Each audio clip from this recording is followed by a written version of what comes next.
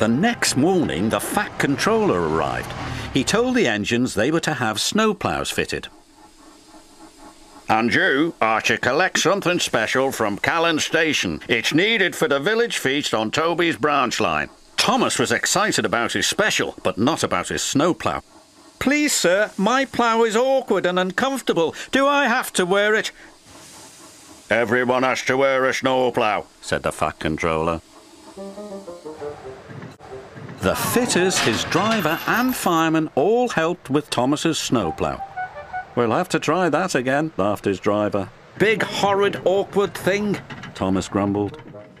He was much happier when he arrived at Callan Station and saw his special. It was a beautiful Christmas tree. The tree's to have lights and stand in the middle of the village, said Edward. Make sure you get it to Toby safely. I will, said Thomas.